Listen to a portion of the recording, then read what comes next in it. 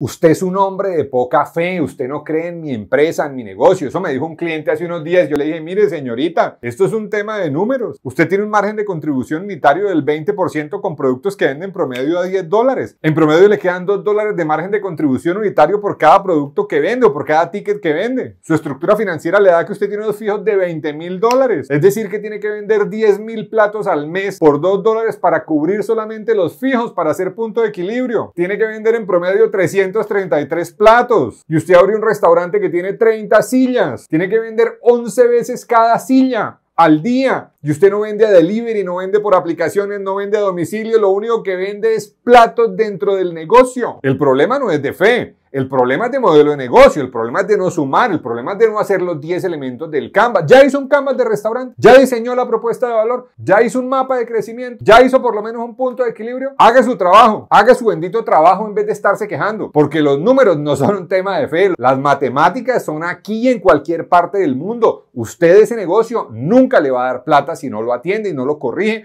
y no abre otros canales o mejora su ticket o mejora su margen de contribución. Hay una infinidad de cosas que se pueden hacer.